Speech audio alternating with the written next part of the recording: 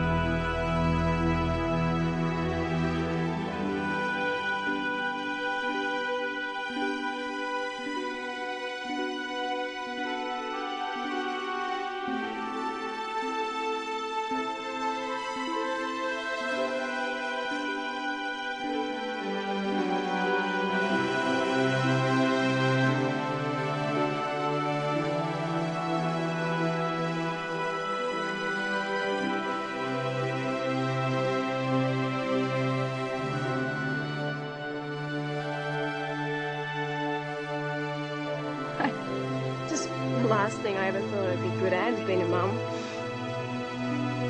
You know, you should try it sometime.